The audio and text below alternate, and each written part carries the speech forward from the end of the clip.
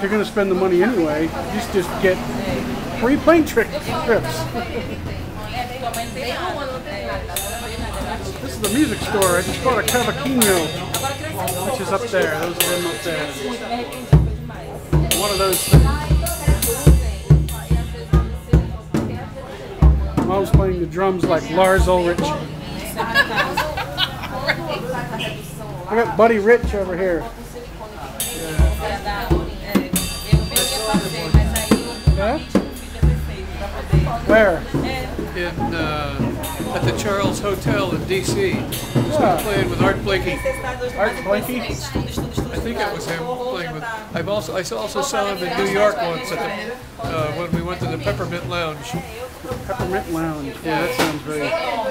That's 50s, 50s. That's why I went there. When when we saw Buddy Rich playing the drums on right around the corner.